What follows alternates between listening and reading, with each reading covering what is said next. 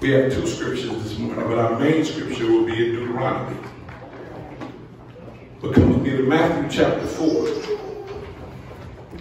beginning with verse number 1.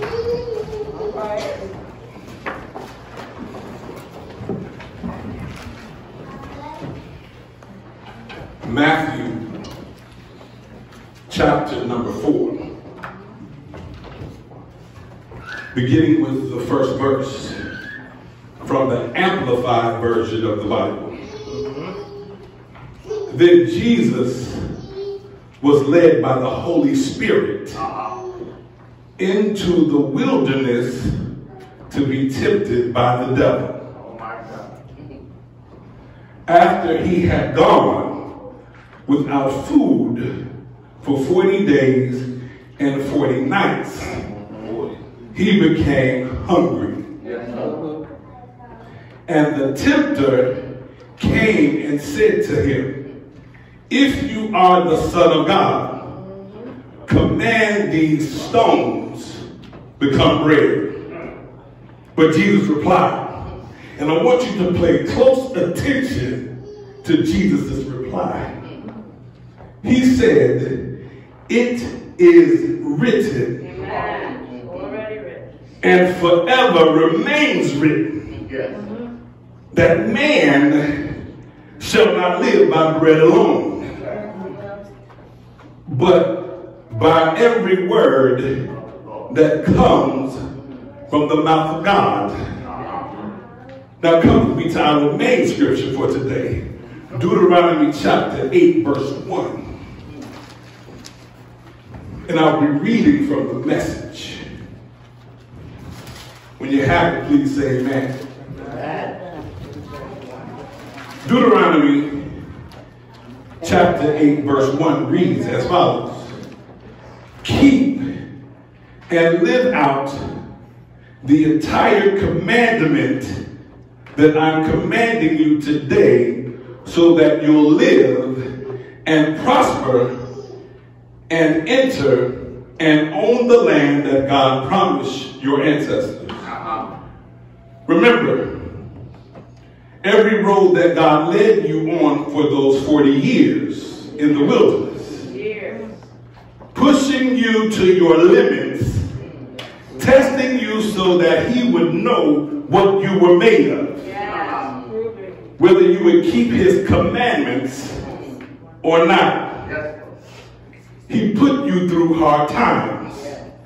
He made you hungry. Then he fed you with manna, something neither you nor your parents knew anything about. He did this so you would learn that men and women do not live by bread alone. We live by every word that comes from the mouth of God. The word of the Lord is blessed.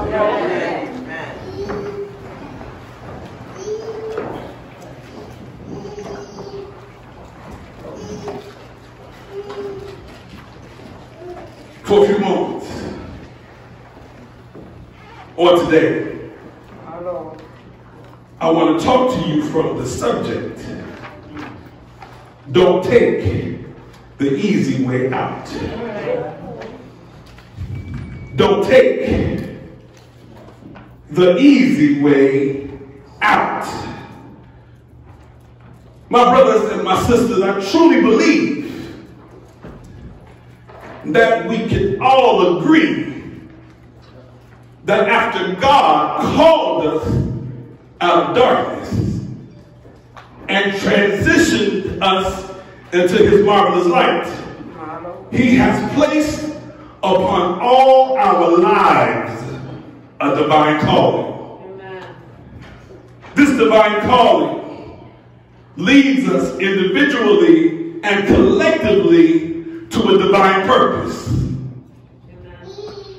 With this divine calling and divine purpose, beloved, there are many ups.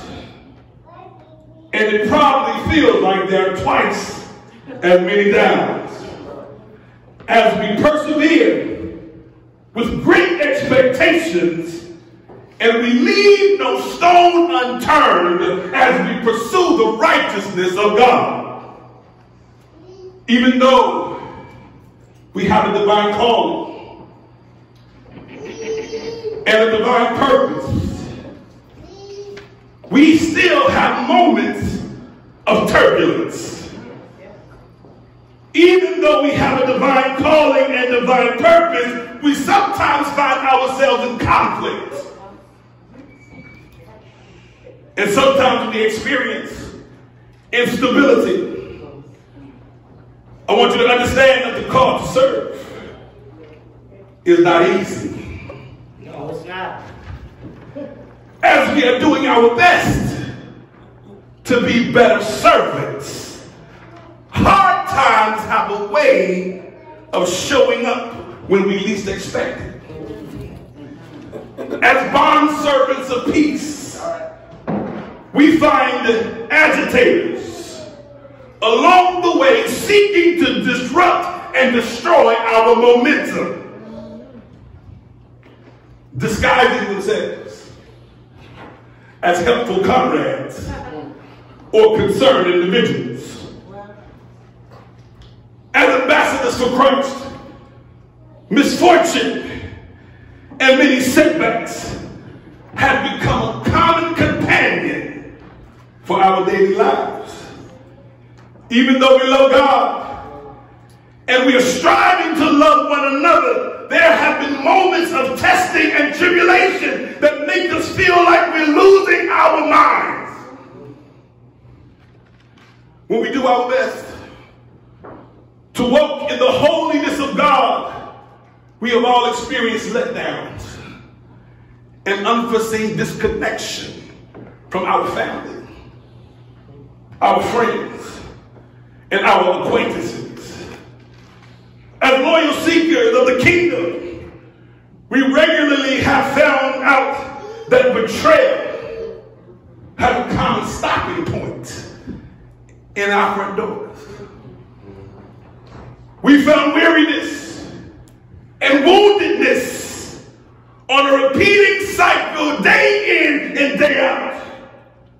However, we know that struggles and the difficulty that we endure aid in our growing process. And we know that all things work together for good to those that love God, to them who are called according to his purpose. Tell your neighbor that God has made me better. God has made me better. Through complexities, we become better. Through stress and sickness, we become better. Through agitation from our agitators, we become better. Through dis- disillusionment and loneliness, we become better. Through bad vibes and heartache, my brothers and my sisters, we have become better. The songwriter says, Jesus is my everlasting portion, more than friend or life to me. Along my pilgrim journey, Savior, let me, me walk with thee. Isn't it good to know that God is close on today? No matter what we endure, God is right here with us. And see, I've grown to understand that life is hard. Do I got some folks that can agree with me on today? Life gets hard. And unfortunately, my brothers and my sisters, this ain't gonna change. There's no getting around it. There are gonna be complications. There are gonna be frustrations. No matter how righteous we are. Or how righteous we try to be. And sometimes, Deacon Woods, when you go through, even as a believer, you feel like all hope is gone. Come on, hallelujah. My brothers and my sisters, we've all been mentally drained. We all get physically, physically weary, even when we're trying to be spiritually right. But I'm going to challenge you on today. Don't take shortcuts on your walk with God. Amen. Don't look for detours that bypass points of maturity and growth. Yeah, yeah. Amen. Don't look for the exit door when your way gets complex and when life gets difficult. Don't run away when you need to run on just a little while longer. Simply follow God's directions, even when there are challenges, struggles, and disappointment. And my brothers and my sisters, don't take the easy way out. Our main scripture for today comes from the book of Deuteronomy. Deuteronomy in the Greek means second law. Deuteronomy, for our understanding, emphasizes that its laws are not new laws, but rather a preaching of the original law to Israel at Sinai. Amen. Are y'all with me? Yeah. It has been authenticated that Moses wrote this book. And the majority of Deuteronomy, as we know, are his sermons addressing Israel, who are the people of God. He's addressing them on the plains of Moab at the end of the 40 year wilderness period. All right. And this immediately precedes the conquest of Joshua. Amen. We understand in the book of Matthew that after Jesus' baptism, he was led by the Holy Spirit into the wild or the wilderness to be tempted by Satan. Yeah. My brothers and my sisters, Jesus, our Lord, has fasted for 40 days and 40 nights. And you know when you're fasting, you're depriving yourself of sustenance. Because Jesus was depriving himself of sustenance, he was hungry. Are y'all with me? Yeah. All right. He was hungry, and in the midst of his hunger, Jesus is still being our example Yes. and teaching us how to endure at the same time. Amen. Amen. Amen. Jesus, I want y'all to walk with me now. Walk close with me. Jesus is weary. And the devil wants to take advantage of this opportunity. Have you ever been weary? Oh, yeah. And that's when the devil sneaks up on you and taps you on your shoulder. But he, he wanted to seize this opportunity. So he comes to Jesus, Reverend Slater, and he says, if you are God, you really don't have to endure the struggle Yeah. of the process. All right. You can take the easy way out. Yeah, come on. Y'all with me? Oh, yes. All you have to do is simply tell these stones to become loaves of bread and remain over y'all good. See, he was telling Jesus, why should you starve Jesus.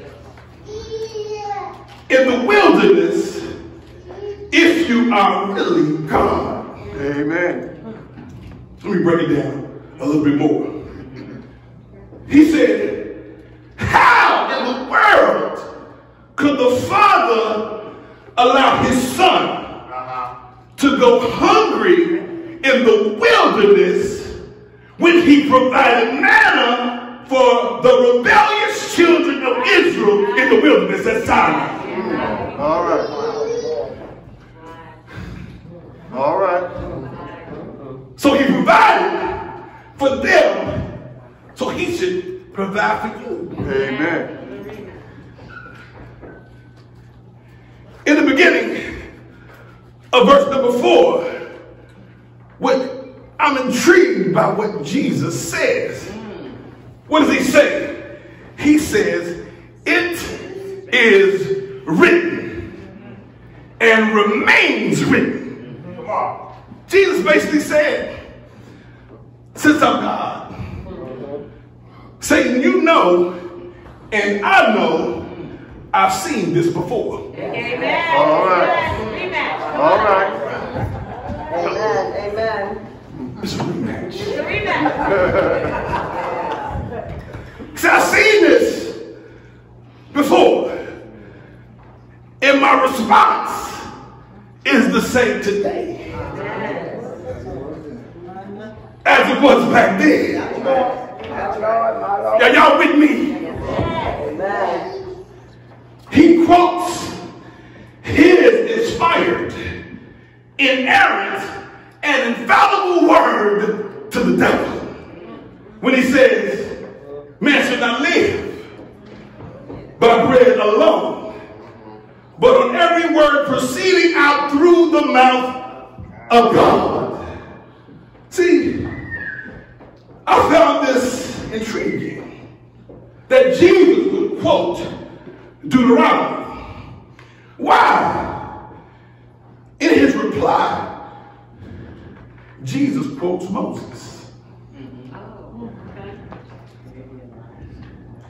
And when he quotes Moses, he validates the Holy Spirit's revelation to Moses. Y'all with me? He also validates the Edenic, Mosaic, and Abrahamic covenants. And he gives authority to all the books of Moses. Furthermore, the J- Jesus reminds the devil through scripture who he is. And he rebukes the devil with that same scripture. Therefore, through this narrative to his disciples, Jesus instructs them and us at the same time. Yes. Yes. See in the text. Moses tells God's people to keep the commands. I am giving you and do your best to live these commands. So we have to keep the commands, church. All right. Amen. Amen. And we have to live the commands.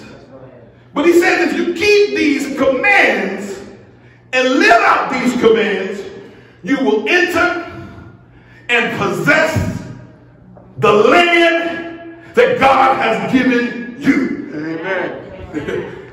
Hope Promise.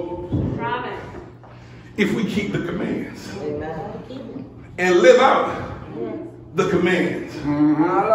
HMBC is going to enter into all that God has promised. Amen. Hallelujah. Hallelujah. Understand, our obedience to God leads to success. See, he wants Israel to understand the road that God had led them on for 40 years in the wilderness was intentionally not easy. That's right. All right.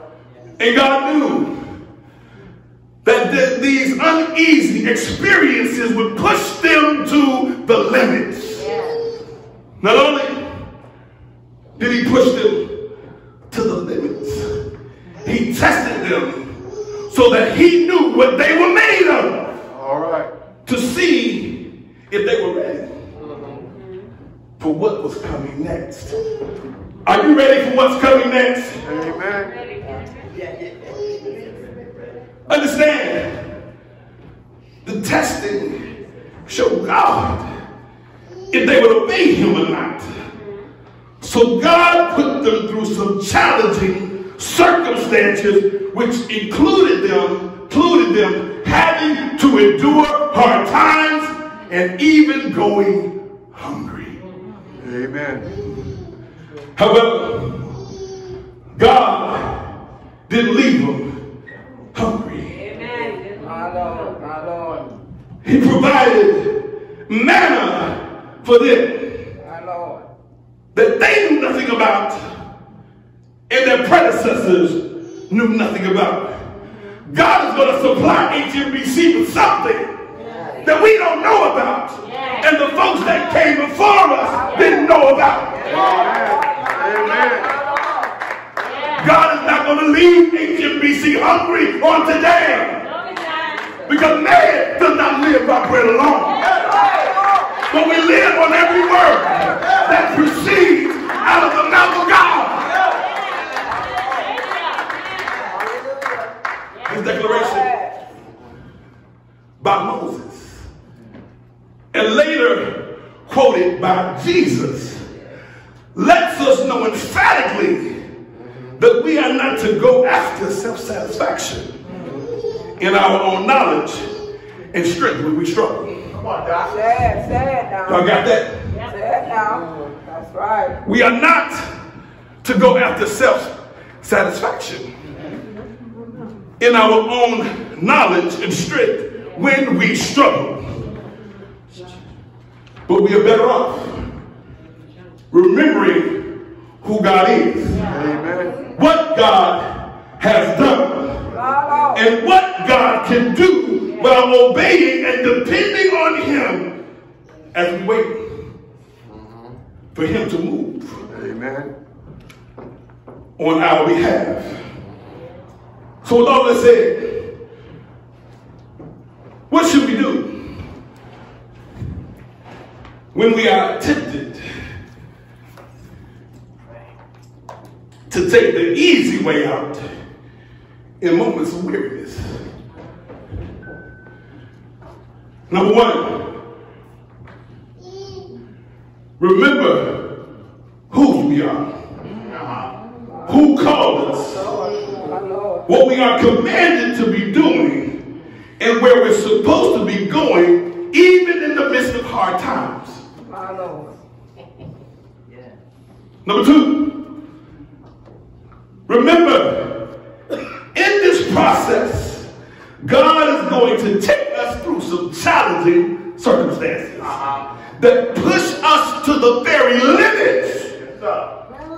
So we can grow, so we can see what we are made of as we press forward towards the righteousness of God. And last but not least, remember, I want you to remember that no matter how life treats you, God can and God will take care of you. My brothers and my sisters, the road is going to get tough, but God can and God will take care of you. There will be moments of lack and moments of drought, but God can and God will Yes. take care of you. My Lord. There will be times uh-huh. when we are unsure, but God can and God will take care of us. Yes, he will. Nobody said that the road was going to be easy, but we know that God can Yes. and God will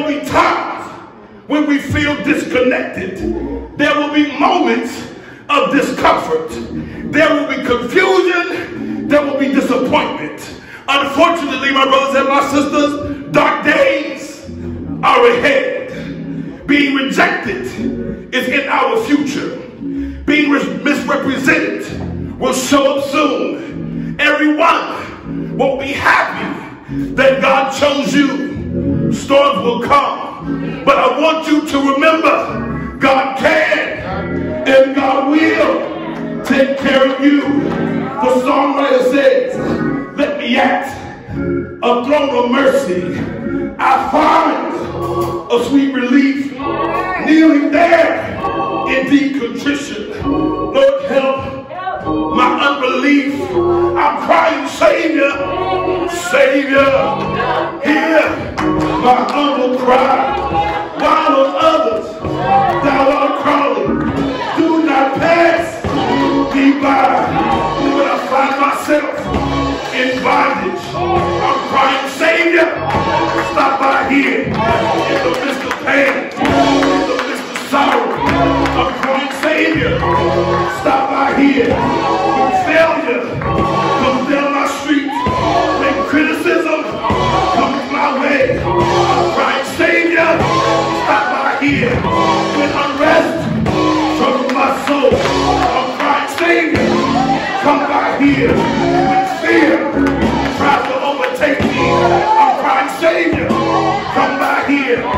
and agitators. Trying to stop me. From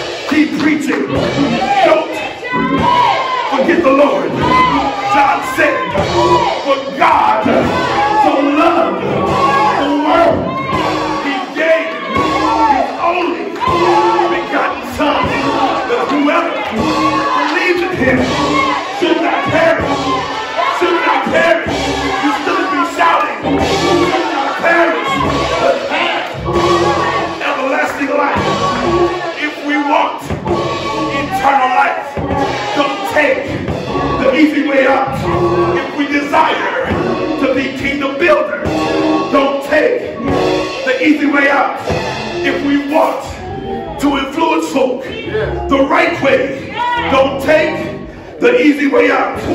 Life will always be simple. Don't take the easy way out. There will be obstacles. We will be talked about. We will be lied on. We will be abused. Keep your focus. Keep going. Don't stop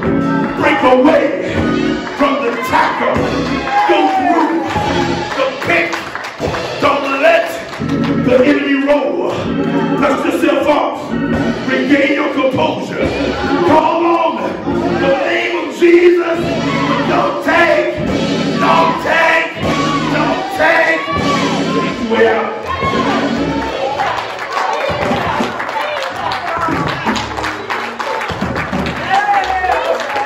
Don't take it. Don't take it. It's a trick. Don't take the easy out. So what should we do? When we are tempted to take the easy way out. I'm going to sum up all the points. And I'm going to leave you alone. He preaching that. Uh-huh, uh-huh. Remember whose we are. Remember who called us. And remember what we are commanded to do. And also remember where we're supposed to be going, even in the midst of hard times. Number two, remember in this process, God is going to take us through challenging circumstances. Right. My Lord, my Lord. And these challenging circumstances are strategically designed to push us to the limits. So if you are being pushed to the limit, say thank you, Lord. Thank you. But these challenges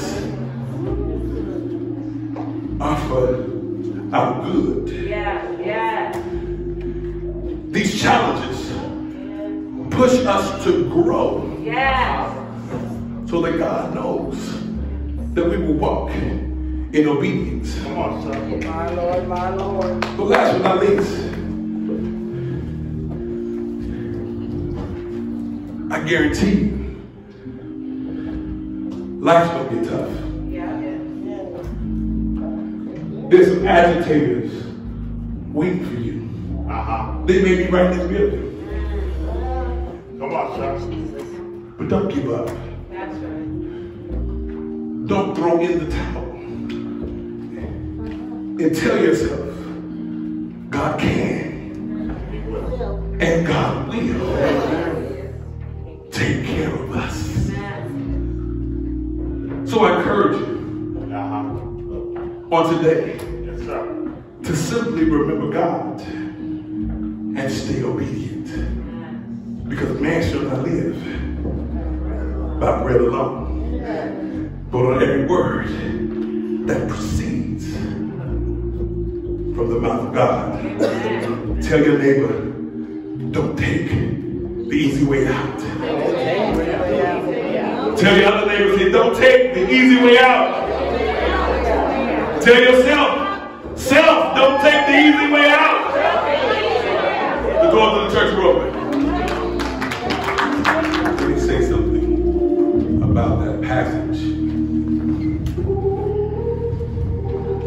Bible class, we're learning how to observe, and now we're focusing on interpretation. But see, in chapter number four, there are no disciples yet. All right. All right. Matthew doesn't show up till later. And so if you listen to the sermon, this was something that he had to articulate to his disciples.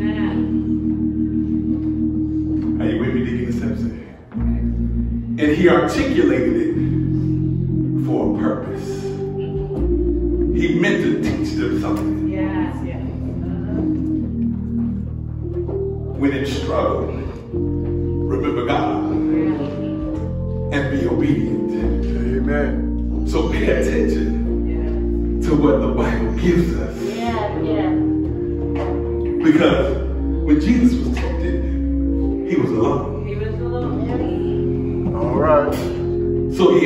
articulate this later